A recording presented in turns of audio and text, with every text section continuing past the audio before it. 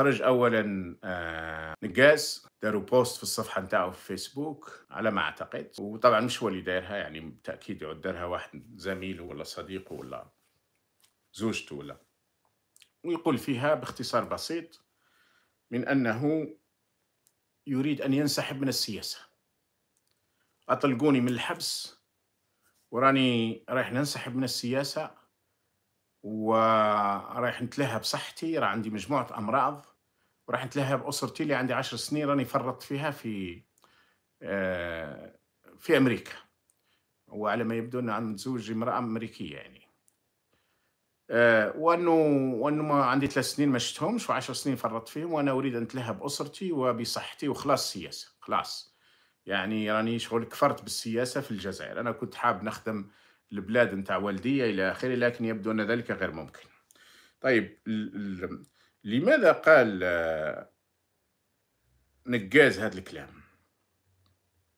نكاس مرات بعض الأصدقاء يقولوا لي آه، من الأفضل نقولوا نكاس نكاس ماشي مشكل. آه، قالها في الحقيقة هاو بيان صحفي. بعد الإلغاء المفاجئ لعفو مدته 18 شهر يبدو انهم اصدروا عفو عليه ب 18 شهر ومن بعد الغاوه إليكم رسالة مفتوحة من المواطن المعزول رشيد نكاس آه، إلى السيد الرئيس تبون. طبعا إحنا لا ما نعترفوش بتبون. إحنا بالنسبة لنا تبون هو تبون مزور شبه العسكر ما كاش الشرعية كما قالها الشعب الجزائري. وهذه أنا بالنسبة لي والله الآخر نفس. سنقول دائما أن تبون جابه العسكر. حتى كنت تتغير المعطيات والظروف إلى آخره ويكون في وضع آخر إلى آخره سنقول له بأنهم جابوك العسكر. يقول فيها لقد تركت السياسة. في خطوات المستوحاة من الأمير عبد القادر في نهاية الملحمة كتب رشيد نكاز إلى السيد يسميه السيد عبد المجيد الرئيس عبد المجيد تبون في 10 ديسمبر. معناها عنده شهر من الكتب ليعلن له رسميا أنه ترك السياسة نهائيا في الجزائر بقوة الظروف وهو يرغب الآن في أن يكرس نفسه لحل مشاكله الصحية البروستات التنفس الأنفي والسمع وللكتابة ولأسرته التي ضحى بها وهجرها في الولايات المتحدة منذ أزيد من عشر سنوات والذي لم يراها منذ ثلاث سنوات. لأنه أراد المساهمة في بناء دولة ديمقراطية في بلد والديه الراحلين. الله يرحمهم إن شاء الله. آه هذه هي البيان الصحفي اللي خرج على موقع رشيد نكاس أو المقربين منه يعني. لماذا؟ لماذا رشيد نكاس اللي عرفوه الجزائريين خاصة من 2014 عرفوه من 2014 في الانتخابات لما كانت هناك الانتخابات الرئاسية في العهدة الرابعة ومن بعد زادوا عرفوه قبل الحراك مع الانتخابات تاع العهدة الخامسة إلى آخره. تعرفون القصة يعني كلها نرجع لها. لماذا الآن يقول أنه خلاص يعتزل السياسة؟ و... بالرغم أن كنت نظن أن نكاس ما راش يدير في السياسة راه يدير في المقاومة راه يناضل يعني لأن السياسة نديروها عندما تكون عندنا دولة ويكون تنافس ويكونوا كاينين تنظيمات وأحزاب إلى آخره الناس دير السياسة سواء داخل الأحزاب والتنظيمات أو خارجها الناس دير السياسة لأنه كاين كاين نظام حكم والناس متفقة على نظام الحكم ولكن يختلفوا في تغيير الحكومات. بمعنى النظام يبقى وتتغير الحكومات. système مش معنى الرجيم هنا مش معنى ال pouvoir. معنى ال système يكون مثل ما ألمانيا أو إسبانيا أو حتى اليونان أو مالطا الصغيرة مثلا. كاين système والناس تتنافس داخل هذا الإطار وتتغير الحكومات الشعب يختار حكومة اليوم ويبدلها غدوة إلى آخره. وهكذا هذا هو التنافس البشري على آه، الحكم. إذا أنا ما كنتش نظن يدير السياسة أنا شخصيا يعني كانوا يسقلوني دائما بعض الصحفيين أو بعض اللي يوصفوني يقولوا سياسي فلان قل لهم لست سياسي. وأنا أقولها اليوم وغدا وإلى آخر نفس يعني. أنا لست سياسي. أنا دبلوماسي سابق اضطر وهو يرى وطنه تخطفه كمشة جنرالات وتغرقه في الدماء والدموع. وعنف رهيب وحرب قذرة اضطر أن يخلي منصبه ويغادر ويقاوم. أنا دائما كانت رغبتي وهوايتي وأنا صغير هي العلاقات الدولية. وبجد واجتهاد وقبل ذلك بتوفيق الله عز وجل وصلت لما كنت أريده وهو أن أكون دبلوماسي أو في المجال العلاقات الدولية اللي هي أفضل مكان فيها هي الدبلوماسية. لكن عندما جاء انقلابهم وتغيرت الظروف والمعطيات واضطريت أن أصبح في وجه المقاومة في هذه العصابات منذ 95 فأنا لست سياسي. ونحن لسنا في وقع السياسة الآن. نحن في وضع مقاومة لأنه عندما يكون الاستبداد والطغيان لا مكان للسياسة. هم مش مخليين مكان للسياسة. هو حتى أحزابهم وأذنابهم وما يخلوهمش. ومرة مرة يضربوا واحد و... والدليل هاو درك نشوفوا ميهوبي لأنه أخذ نفس الموقف تاع نتاع نقاس أو نكاس مرة أخرى. إذا ما كاش سياسة اليوم في الجزائر. في الحقيقة ما كان لا سياسة لا اقتصاد لا علم لا طب بالمعنى الحقيقي لا جامعات بالمعنى الحقيقي. كلش مزيف مزور رديء فاسد كله. واش كاين؟ كاين حكم عسكري طاغي. كان كان يتأخر ثلاث خطوات ويحط الواجهة. الآن حاط واجهة وحاضر مع الواجهة. تشوفوا شنقريحه في كل وقت. اليوم نظن تبون راح لهذا الملعب اللي سموه منديلا. لقى شنقريحه يستقبل فيه. واش دخل شنقريحه في الملعب؟ في في في في واش دخلوا؟ لا ولاو يقولوا بصراحة إحنا الحكم عسكري. يعني يردوا على دولة مدنية ماشي عسكرية ولا يقولوا عسكرية. حتى ذبابهم يقول لك عسكرية إيه ماشي مدنية. وكأن هذا شيء يفتخرون به. اللي كانوا قبلهم كانوا أذكى منهم. صراحة الكمشة نتاع الكبرانات تاع فرنسا أذكى بكثير من هؤلاء. أكثر دموية وأكثر إجرام أكيد لكن أذكى بكثير. اليوم ما عندهمش واحد كما محمد تواتي. على كل إجرام وفساد كان شوية يعني. يعني سي ال plan كما يقولوا يقدر يدير ان بلان يقدر يدير ماشي نزار ها؟ نزار سامحوني على العبارة بصح نزار هايشة يعني لا, لا لا يعرف شيء. حتى هذيك الكتب اللي يقولوا إلى آخره هو لا شيء. هو يقول برك هما يجوا الكتبه هذوك الكتبجيه يبدلوا يحسنوا يصلحوا إلى آخره. لكن كان عندهم واحد مثل محمد تواتي على سبيل المثال. وكانوا كاينين بعض الجنرالات وبعض العقداء. الآن ما كانش. لم يبقى. لأن مع الأيام الآن عندهم ناصر الجن جبار مهنا شنقريحة حتى لما جاوا يعينوا مدير عام للمركز الوحيد يسموه مركز دراسات الاستراتيجية. عينوا عبد الجنرال عبد العزيز مجازر. مجاهد هو اسمه مجاهد لكن الجزائر يسموه مجازر. ما عندهمش. يعني هذا المركز الوحيد للدراسات الاستراتيجية. عندما أسس كان مثلا فيه يزيد. يزيد هذا كان في الثورة وكان دبلوماسي كبير ومحمد يزيد مثلا. كانوا فيه بعض الأسماء بعض البروفيسورات آه، أيام الشادلي وحتى في بداية التسعينات حتى منتصف التسعينات. حتى نهاية التسعينات. الآن عندما عبد العزيز مجازر هذا في حد ذاته مؤشر كبير على الانهيار الرهيب اللي وصلوا له. لما عينوا جبار مهنا على رأس DGSE المديرية العامة للأمن الخارجي. صراحة فرحت. فرحت فرحة كبيرة. وقلتها في واحدة من اللايفات. قلت ربي عماهم يعني. يعينوا واحد مشهود له ومشهور داخليا وخارجيا بأنه كان ذباح كان يقوم بمجازر في البليدة وفي المدية ويصل حتى الجلفة كانت المنطقة تاعو تغطي حتى الجلفة. الناحية العسكرية الأولى. ومن الناحية الأخرى تغطي حتى الشلف والغيزان. ومن الناحية الأخرى تغطي ما بعد تيزي وزو. ناحية الشرق. أو العاصمة. مبتز. واحد يدير شونتاج للناس للتجار بالأدلة. والجهات الداخلية والخارجية. الجهات الخارجية خاصة تعرفوا. وهو المتورط في ذبح الرهبان. ثم زاد تورط في حرق القبائل خاصة منطقة القبائل في 2021 فقلت هؤلاء عماو. بصح علاش عينوا طرحت السؤال على نفسي لماذا عينوه هو؟ علاش مش غيره؟ ما عندهمش ما بقاتش. ناصر الجن اليوم راه هو القوة الضاربة تاعهم في ال... أيضا مع مع جبار مهنا. ويحرك في بعض الذباب وبعض الأذناب وبعض اللي يشراوهم إلى آخره في الداخل وفي الخارج. وش لقاو؟ لقاو ناصر الجن. بالمناسبة عنده نصه ما يسمعش أصلا ما يسمعش. لأنه مرة وهو يعذب في واحد ضربه ب... ب... حط بهذاك اللي يحطوه يتلاعبوا به في ال...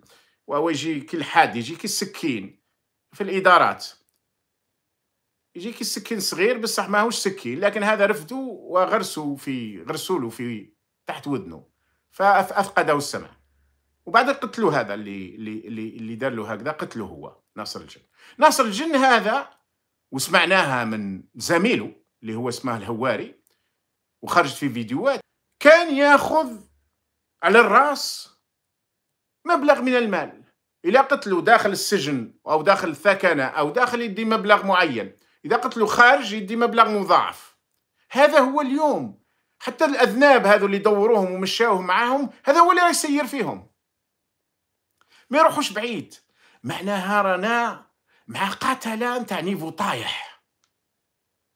تاع باندية دي فوايو مع يتكركر. جبار مهنا ناصر الجن هذاك فلان. لماذا؟ لأن ما بقاش. واللي ما بقاوش نوعين. كاين نوع لاباس به متعلم ولاباس به إلى آخره لكن شاف باللي الأمور ما تمشيش معاهم كثير منهم طلبوا la retraite وراحوا. وكاين اللي راهم موجودين بصح لا قرار لهم. بقاو. مازال يحب السلطة يحب يبقى عقيد يحب يبقى commandant يحب يبقى جنرال. ويدي هذيك 40 مليون 60 مليون في الشهر والمصالح. بصح ما عندوش قرار. فالآن وصلنا إلى أسوأ لي فوايو راهم في البلاد. شنقريحة ذباح الأخضرية والبويرة. وغليزان لأنه هو ثاني كان في الناحية العسكرية الأولى. بالمناسبة جبار مهنا وناصر الجن وشنقريحة وعبد العزيز مجازر كلهم كانوا في الناحية العسكرية الأولى. لأن ثم وين صارت كبرى المجازر وكبرى الإرهاب والرعب شهدته تلك المنطقة. لتصل شرقا إلى ما بعد تيزي وزو و غربا إلى حدود غليزان إلى غليزان وجنوبا إلى الجلفة. ولكن التركيز كان خاصة فيهم كلهم لكن خاصة في الشلف غليزان البليدة البويرة المدية الخضرية والقرى والمدن الصغيرة المجاورة. بومرداس تيبازا بطبيعة الحال. فغرقوا. ما كاش اللي يفكر لهم الآن تفكير صحيح. ما كاش اللي يقدر يكتب رابور كما مثلا كان يكتبوه اللي كانوا يسموه مخم... مخ الجيش محمد تواتي. أو اللي كانوا مع محمد تواتي كانوا كاينين واحد آخرين. ما كانش. ما كانش اللي يقدر يدير لهم تحليل حقيقي. لا على السياسة الداخلية لا على السياسة الخارجية. مثلا كح هذا كحال مجذوب اللي حطوه في الأمن الداخلي.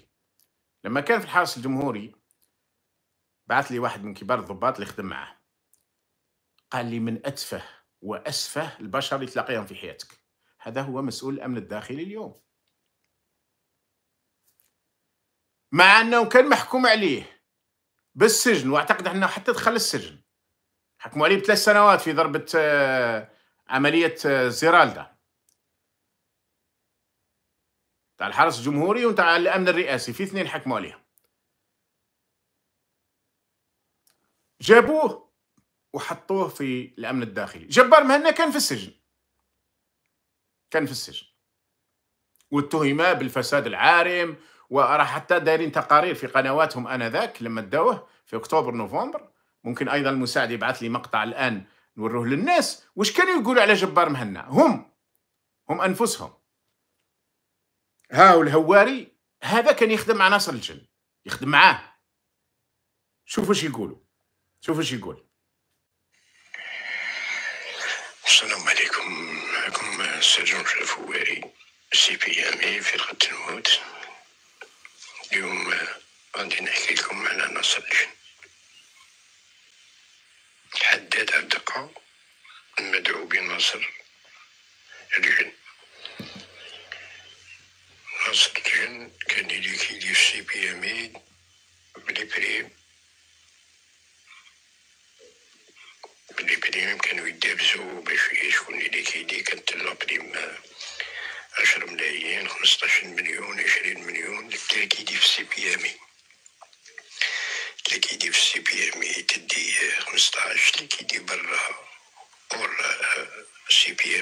عندي خمسة وعشرين مليون ناصر الجن كان كيدي كيدي يضرب لي كومبريمي تاعه متيرات العقلية وناصر الجن كان حبيبي كنت نقدر معاه كان يسكن في درقانة الجزائر العاصمة وكان من عصي كان حبيبي وصارت لي مشاكل معاه كبيرة صديق مقرب يعرفني يعرفني غاية الغاية. ولا نعرفه غاية الغاية. كان آه، في ال liquidation كيف ال CPM يحسبوا شحال كاين 15 20 واحد 25 واحد غادي ليكيدا. كان هو يقول لهم أنا الليكيدي 10 15 20 كان نصهم مداينين وكان نصهم عسكريين. باش يدي لابريم بزاف وكان يدابز بزاف مع الناس ويدابز بزاف مع المرحوم تمان كيفاش يليكيدو شكون يليكيدي بزاف عليهم ولابريم كانت تجي الطرطاق من جينيرال الطرطاق ديالك من الفيلا تحسب شكون اللي يليكيدا عشرة قال لي أخلص. كان احبسوا هنا كان اللي اولا قال لك صاحبو يعرفو مليح هذا كان صف ضابط sergent-chef كانوا في CPMI فرقة الموت. كانوا كانوا مجموعة ضباط فيهم الوناس وعثمان وفيهم ناصر الجن بشكل خاص. هو يتكلم عن ناصر الجن عثمان هذا يبدو إنه مات.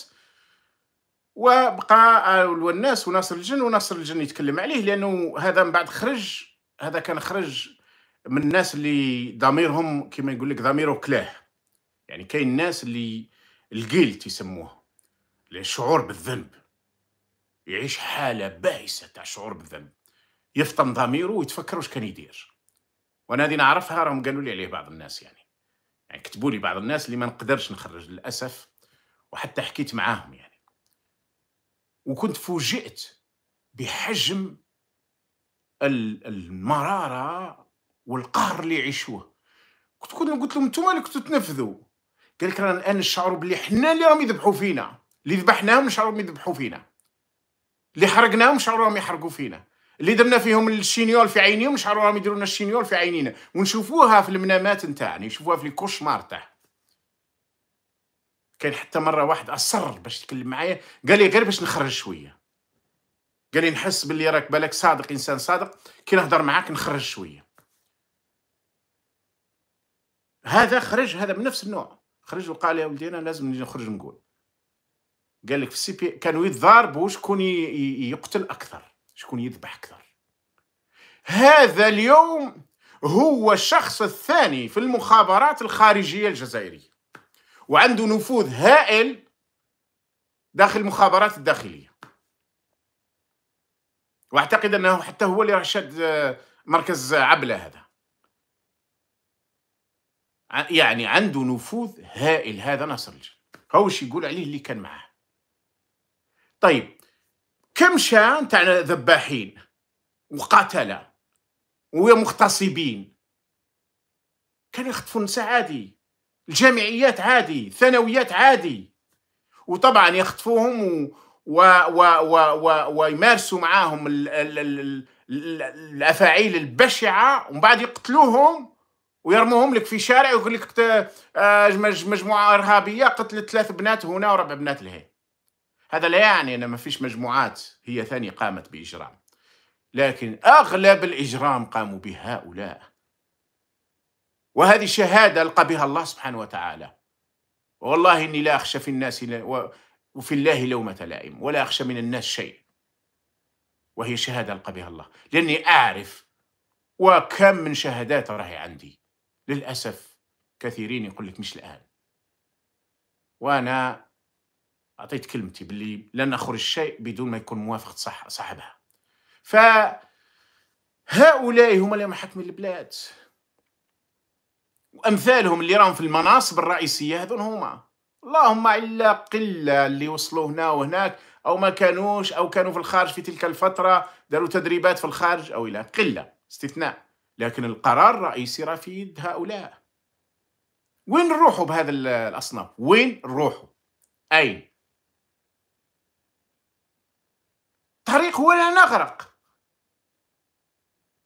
والطريق هو أنه كل مرة يزيدوا أكثر وتخويف أكثر ومش همهم ومش فاهمين. التغيرات اللي تحدث على المستوى العالمي. لما بدأت حرب أوكرانيا حتى قبل ما تبدأ قلت راح تكون تأثيراتها كبيرة علينا. جاهم جانب إيجابي اللي هو الجانب الاقتصادي. ارتفعت أسعار البترول والغاز. لكن جاهم جانب سياسي واستراتيجي سلبي. الدليل هو شنو؟ أربع وقائع صارت لهم. وقد نكتشف أنها أشياء أخرى مع الأيام. أربع شروط دارهم الأمريكان. قالوا لهم النيات على المناورات مع الروس اللي كانت في نوفمبر وما داروهاش. قالوا لهم خفضوا من ميزانية وزارة الدفاع. وخفضوها. من قريب 23 مليار دولار إلى 18 صحيح راحوا من بعد عن طريق وزارة المالية. خافوا خافوا من الأمريكيين وأعلنوا رسميا أن الميزانية نقصت من 316 ألف دينار إلى 200 ألف 242 ألف دينار نظن أو شيء هذا يعني من حوالي 23 مليار دولار إلى 18 مليار دولار. ورأي في الجريدة الرسمية الآن.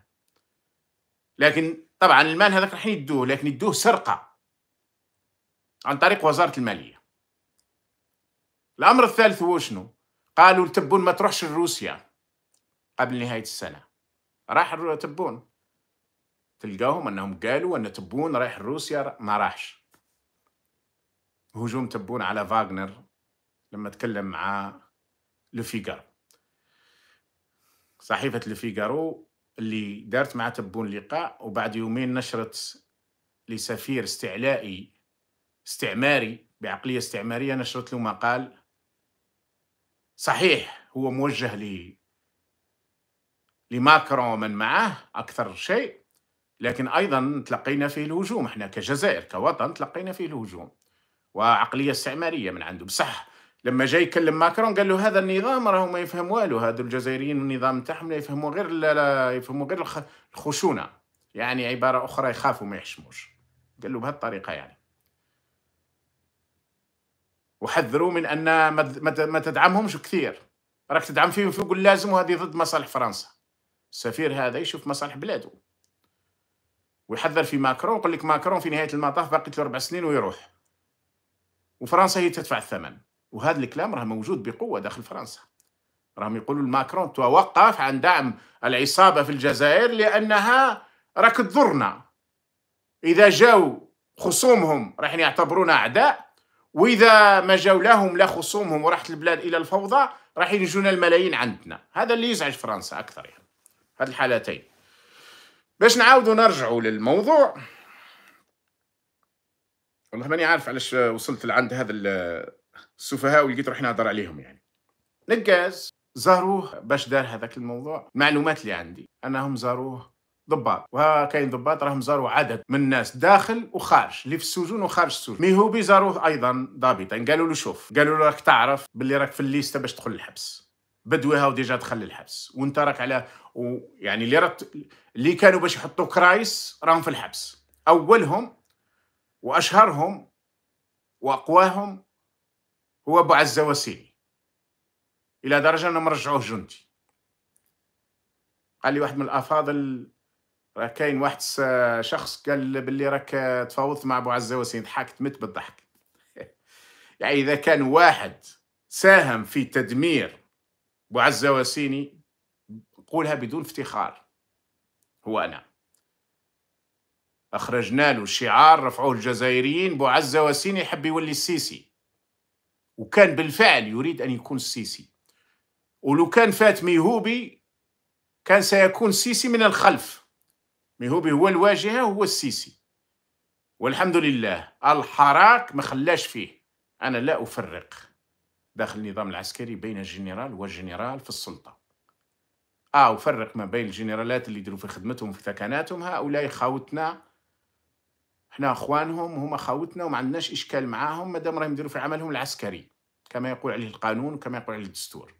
أما الجنرالات الذين يتدخلون في السياسة وهما السياسة وهما الحكم والبزنس هؤلاء لا. الشعب قال تروحوا للثكنات. طبعا قالها لكم بقوة الشعب.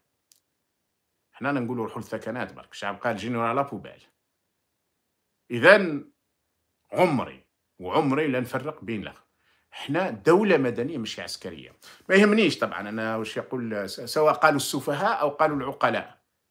لأن الناس لها عقل واللي يتبع يعرف واللي يحوس يفهم يعرف إلى آخره. أما الأذناب والذباب هذول اللي راهم دايرينهم والله ما يزيدوننا إلا قوة. وكانوا بعض إخواني وأخواتي المحيطين بي هكذا كانوا مرات كانوا في البداية ينزعجوا. الآن أصبحوا يضحكوا. كي يسمعوا أن مانيش عارف سفيه هنا كتب عليهم أو سفيهة هنا كتبت عليهم أكاذيب وبهتان أصبحوا يضحكوا بها ويتمسخروا بها. في البداية وأنا كنت قلت لهم قلت لهم راهي غير الأسابيع الأولى والأشهر الأولى. من بعد تعودوا تولوا تشعروا بالعكس هذه قوة. لأن لو كان ما كنتش تزعجوا فيهم تزعجوا في أسيادهم في أرباب البلاد ما يظلوش يهاجموا فيكم. فما دام راهم يقومون بذلك فهذا تثبيت وتقوية. تثبيت أن العمل مزعج جدا للعصابات. وتقوية لنا جميعا أن نستمر في هذا العمل. وهذا هو اللي راه. ولذلك جات لا كومبان تاع الفوازيناج اللي رايحة تشتد وتتوسع. أعدهم بذلك. إذا سواء أبو عزة وسيني أو قايد صالح أو غيره كلهم أرادوا الاتصال. وكلهم كان دائما عندي رد واحد نحن لا نتفاوض لا في السر ولا تحت الطاولة ولا تبعث لي ولا نبعث لك. اسمعوا الشعب وش راه يقول لكم الشعب راه يقول لكم دولة مدنية. ها هي واحدة منها. ضده وصور رفعت قيل لي من دائرة مقربة منه أنه كان أوردلوي. كان في حالة غضب شديد لأنه كان حب يبقى الصورة نتاعو مخفية. وبعث لي هو شخصيا من يهددني بقطع رقبتي. أنا لن أهددك بقطع رقبتك حتى لو ينتصر الشعب لكن نقول لك أنه حينما ينتصر الشعب سيحاكمك القاضي العادل. أما إذا قطعت رقبتي أنا فاليوم فيه ملايين من الأحرار الذين يخوضون هذه المعركة ولن تتوقف على واحد ولا مئة ولا ألف ولا حتى خمسين ألف. اليوم هذه تيار تيار الحرية تيار الدولة المدنية. أصبح عند غالبية الشعب الجزائري اللهم إلا بعض البسطاء بسطاء العقول وليس بسطاء الحال وبعض الذباب والفاسدين والمفسدين الذين يريدون أن يبقى الوضع كما هو. سننتصر بإذن الله. هذه كانت رد على أبو عزة وسيني بعد ما خرجت الشعارات. نتاع أبو عزة وسيني حب يولي السيسي بعث من يهددني مباشرة يعني وقال لي راه من عنده. قال لي نقول لك أو يقول لك منش باش نقولوها لك يعني. أنا نقطعوا لك راسك. قلت له مرحبا. قلت له درك تزيد الناس ترفع الشعارات أكثر من إخواننا اللي يتابعونا يعني. قلت له لا تقطع لي راسي روح مرحبا بك. أما قطع الرؤوس وخروج الروح فهي بأمر الله. أيا كان السبب؟ نحن إذا تمكنا منكم لن نقطع رؤوسكم نحن سنذهب بكم إلى القاضي العادل. لأننا نحن نخاف الله قبل كل شيء ونريد أن نبني دولة وليس فوضى. ونريد أن نبني دولة حقيقية وليس جماعات متناحرة تحدث ويو وليس قتالين. نحن لن ننتقم. الذين ينتقمون لا يبنون الذين ينتقمون يهدمون. رغم شراستنا في المواجهة أو في المعركة إلا أننا لم يساورنا ولن يساورني يوم واحد الانتقام من أي كان. قضية ليست شخصية وليست لا عندهاش اسم وحتى الناس اللي يسيئون كشخص يسيئون بشكل شخصي لا ننتقم. الكبار العصابات إذا ما تمكن منهم الشعب يحاكمهم القاضي العادل.